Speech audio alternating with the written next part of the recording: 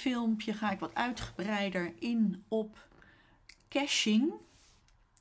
Caching is een techniek die lokaal, maar ook op het netwerk en in de browser wordt gebruikt om informatie tijdelijk te bewaren.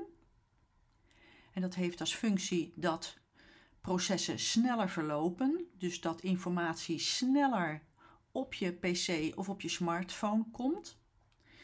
Maar die caching kan er ook voor zorgen dat veranderingen die je aanbrengt op je website niet direct zichtbaar zijn. En dan snap je niet hoe het kan. Want als je ingelogd bent, dan zie je de verandering.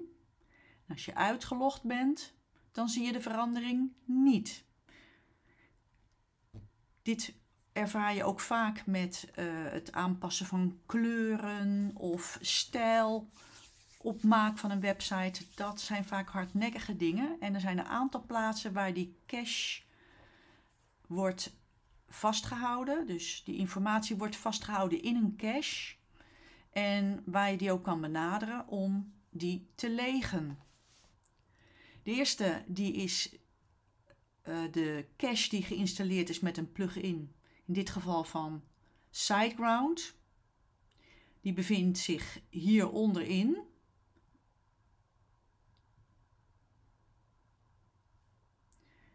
Cache legen. En je kan hem ook hier leggen. Ik doe hem altijd en hier en daarbovenin. Deze duurt langer, dus ik neem aan dat hij wat intensiever de cache leegt dan deze knop hieronder. Dan is er ook een cache in de WordPress theme die we gebruiken van Divi. Die heeft ook een cache. En daar merk je vooral als je kleuren aanpast. Of uh, dat merk ik vooral bij het bewerken, dat daar ook iets kan blijven hangen. Die benader je als volgt. Je gaat naar de Divi en dan de eerste knop kom je bij deze tabbladen terecht. Algemeen, navigatie, beelder. Dan het tweede tabblad. En soms staat deze uitgeschakeld. Maar dat maakt niet uit. Ik schakel hem dan eventjes in. En dan klik je op duidelijk. Dit is een vertaling en dat slaat werkelijk nergens aan. Nergens op. Dit is een, gewoon een knop waarmee je de cache van Divi leegt. Dus je klikt hierop en als hij uitstond, zet je hem daarna weer uit en dan klik je op wijzigingen opslaan. In dit geval stond hij aan, dus ik laat hem gewoon lekker aanstaan. Wijzigingen opslaan. Dus nu hebben we twee caches gehad van de WordPress omgeving en van de Divi. En tenslotte zit er nog één cache in je browser. En ik zal eventjes overschakelen naar de voorkant van de website. Ik bevind me in Google Chrome. En elke browser heeft een andere plek waar een cache geleegd kan worden. Ik weet bij Google Chrome zit hij hier onder die drie stippeltjes. Klik op instellingen. En dan typ ik gewoon in even cache.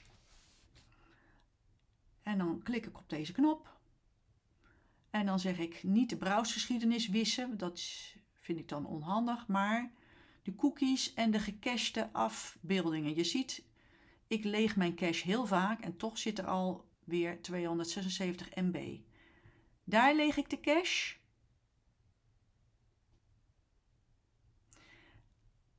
Daarna de pagina refreshen.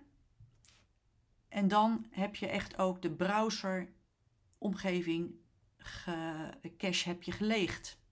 Dan is er nog een specifiek programma die is op een aantal uh, websites geïnstalleerd. De meeste mensen hebben hem niet, maar dat is een foto programma, een foto uh, plugin. En die, die heeft ook een cache.